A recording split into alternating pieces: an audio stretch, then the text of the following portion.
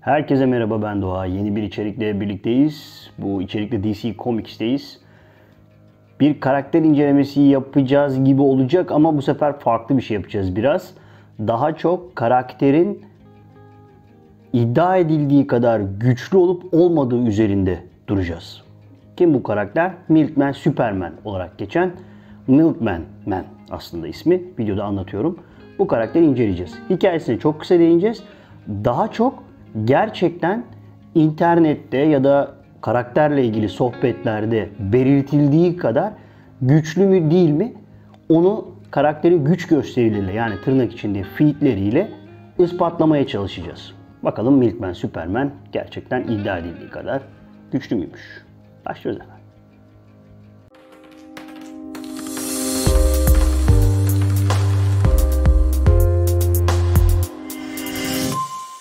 Öncelikle gerçek ismi bu değil.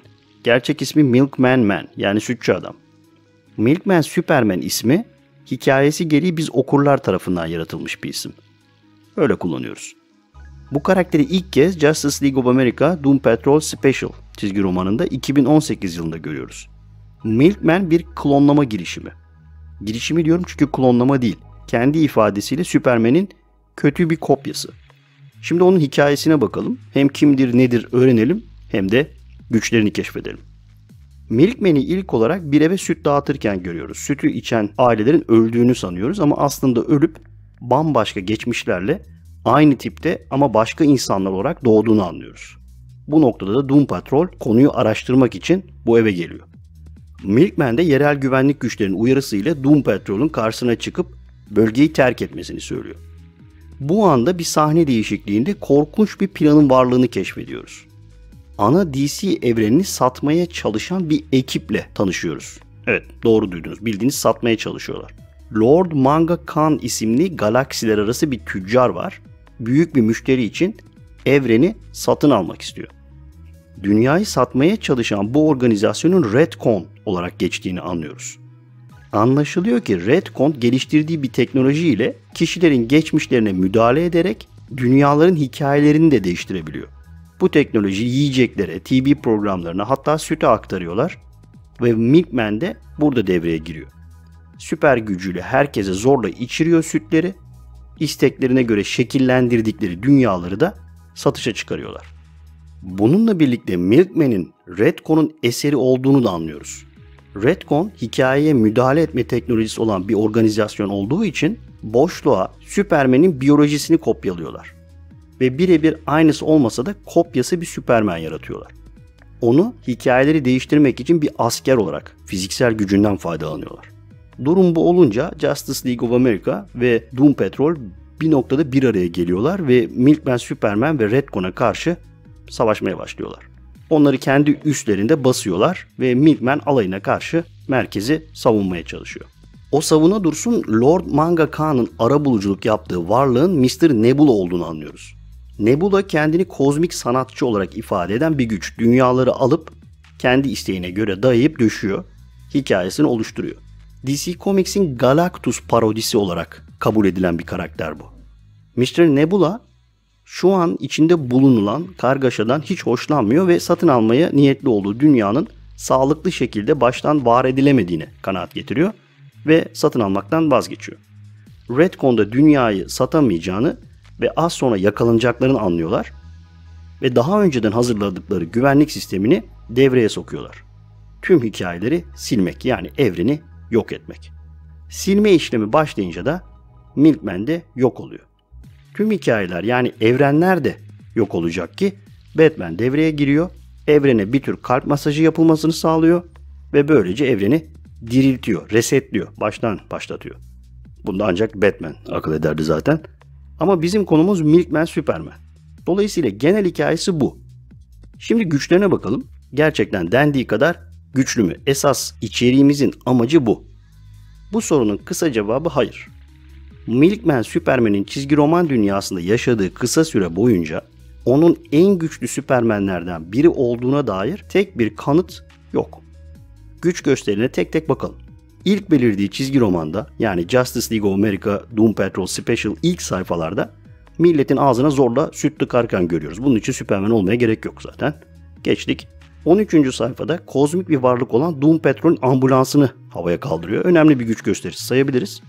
Ama ambulansın tepkisini göremeden Flex Mantello adlı karakter Milkman'i alaşağı ediyor. 20. sayfada zamanı kontrol edebilen bir karakter olan Casey Brink'e dokunamıyor. 25. sayfada kendi hikayesini hatırlıyor. Psikolojisi bozuluyor ve gardı düşüyor. 28. sayfada da siniri bozulunca savaş alanını terk ediyor. Burada hızına dair bir güç gösterisine şahit oluyoruz. Gelelim güç gösterilerine başka örnekler sunan devam fasikülüne. Doom Patrol Justice League of America Special'dayız. Dördüncü sayfada orijinal Superman olan Clark Kent gibi gözünden enerji saldırısı yapabildiğini görüyoruz. Beşinci sayfada hızına dair bir güç gösterisi var. Ardından da belirli aralıklarla toplam 4 sayfada Doom Patrol ve Justice League of America üyelerine karşı yumruk yumruğa durabildiğini görüyoruz. Bu noktadan sonra da herhangi bir güç gösterisi yok ve annesiyle ölüyorlar. Dolayısıyla Milkman Superman'in aşırı güçlü olduğuna dair bir kanıt yok. Hatta plot manipulation yani hikayeye müdahale gücü olduğu söyleniyor. Böyle bir şey var mı?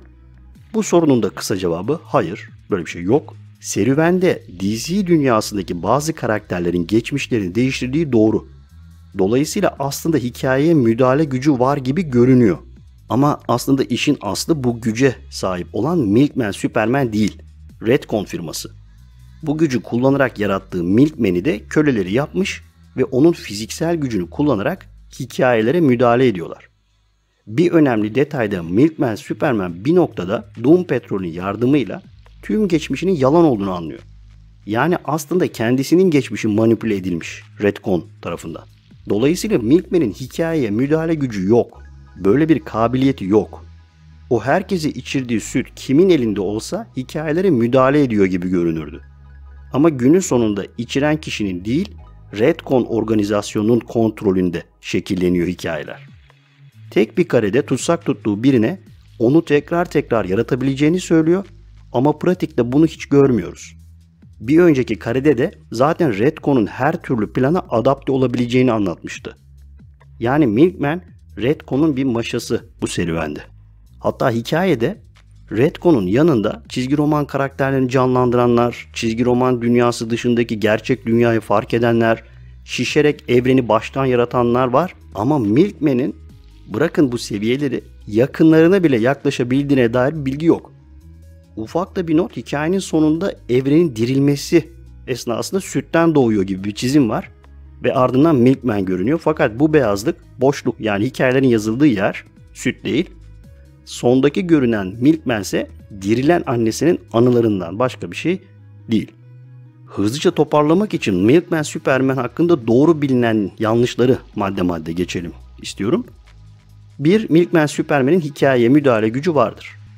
Yanlış. Az önce üzerine durdum böyle bir gücü yok. Redcon üretimi sütleri dağıtmakla sorumlu bir asker sadece.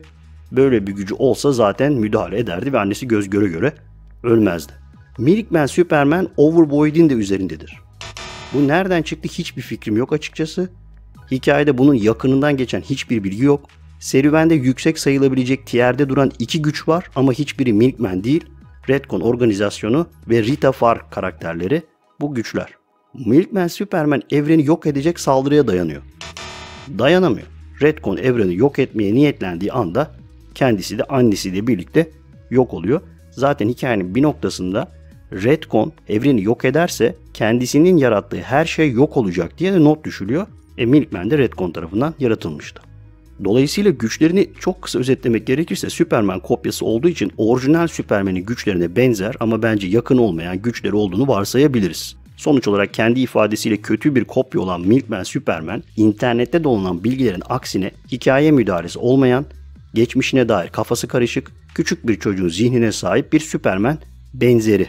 Eğer Milkman Superman'i okumak istiyorsanız çizgi romanlarda 4 çizgi romanda görüyoruz. Özellikle Justice League of America Doom Patrol ve Doom Patrol Justice League of America Special ana hikayeler. Bunları okumalısınız. Ayrıca Gotham AD sayı 1, Cave Carson Has a Cybernetic Eye Swamp Thing Special çizgi romanlarında da kendisinden çok kısaca bahsediliyor.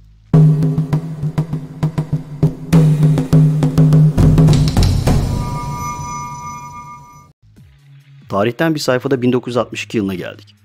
Amazing Fantasy sayı 15. Son sayfadayız. Sayfanın tarihe geçmesi için aslında özel bir nedene gerek yok. Bu sayfa ile Örümcek Adam çizgi roman dünyasında kalıcı oluyor. Ama tabii bu sayfayı çarpıcı yapan şey sayı boyunca diğer süper güç kazanan tüm kişilerin aksine Peter Parker'ın kahramanlığı değil kendi çıkarlarını düşündüğü gerçeği.